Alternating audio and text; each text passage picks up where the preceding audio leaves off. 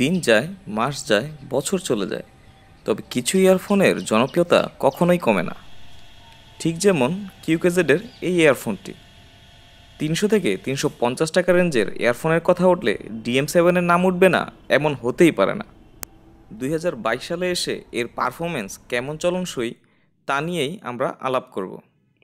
তবে এর ভিডিওগ্রাফি করতে গিয়ে বাগানের সৌন্দর্যে হারিয়ে গিয়েছিলাম এবং এডিট করতে গিয়ে পড়েছিলাম মহাঝামেলায় এতগুলো সুন্দর সুন্দর ভিডিও কোনটা রাখব এবং কোনটা ফেলে দেব? তাই বেশিরভাগই রাখার চেষ্টা করেছি। আশা করি পুরোটাই ধৈর্য ধরে দেখবেন। তো এর যে এয়ারবাডসগুলো আছে, সেটা আসলে মেটাল কেসিং দিয়ে তৈরি। এই মেটাল কেসিংটা আবার হয়েছে খুবই গ্লোসি এবং দেখতে খুবই নজরকাড়া। এর মধ্যে আছে সোনালি কিছু লেখার ছাপ। এছাড়া এর এয়ার টিপসগুলো একটু বড় সাইজের মনে হয়েছে। তো যে ছোট সাইজের এয়ার টিপসটা দেওয়া থাকে, সেটা ইউজ করতে পারেন। আর এখানে লেফট রাইট খুব সুন্দরভাবে মার্ক করে দেওয়া আছে। তাই অযথাই সময় নষ্ট করতে হবে না কানে দিয়ে। তবে ওজনে এটা খানিকটা ভারী, যেহেতু মেটাল কেসিং এবং বিল কোয়ালিটি খুবই ভালো মনে হয়।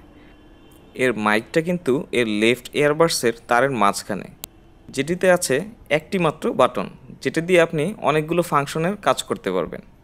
বাটনটা মোটামুটি ক্লিকি এবং দেখতে সুন্দর।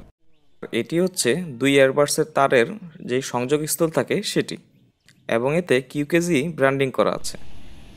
এর three point five millimetre earphone জ্যাকটি কিন্তু ভি শেপের ভি শেপের হয়, এটি বেন্ডিংয়ের প্রেশার খুবই কম নেবে।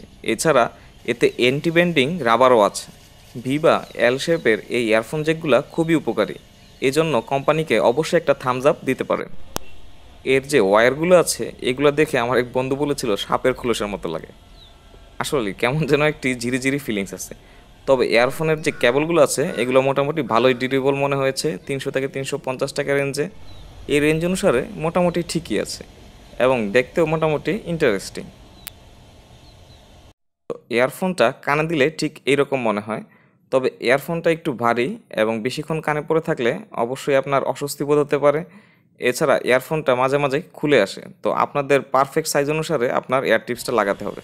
তো চলে আসি এর মিউজিক পারফরমেন্সে এর মিউজিক পারফরমেন্স আসলে বলতে গেলে অত্যন্ত জোস। দুই হাজার বাইশ সালে এসেও এটা খুবই ভালো পারফরমেন্স দেয়। এটার বেস খুবই ভালো, তবে একটা ঝামেলা আছে। এই ইয়ারফোনটিকে এমনভাবে ডিজাইন করা হয়েছে যাতে এর বেসটা মনে হয় যাতে এর মিউজিকেরই একটা অংশ? মানে সচরাচর অন্যান্য ইয়ারফোনে যেরকম বেস মনে হয়, এই বেসটা ঠিক সেরকম নয়। তবে এটাকে যে ফেলে দিবেন সেরকম না। এটা খুবই ভালো বেস এবং খুবই ভালো বিট সেটা বলতেই হবে।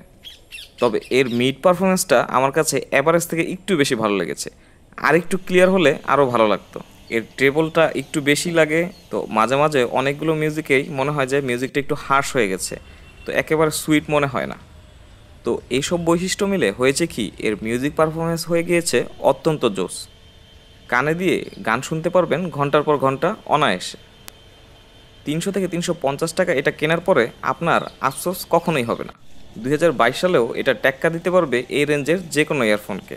তবে এটা নিয়ে সবচেয়ে বেশি কোশ্চেন যেটা সোশ্যাল মিডিয়াতে পাওয়া যায় সেটা হচ্ছে ডিএম সেভেন ভালো নাকি ডিএম টেন দুইটাই কয়েকদিন ব্যবহার করে যেটা বুঝতে পারলাম, এই ডিএম সেভেন থেকে ডিএম টেনের মিউজিক পারফরমেন্স একটু বেটার কারণ কি?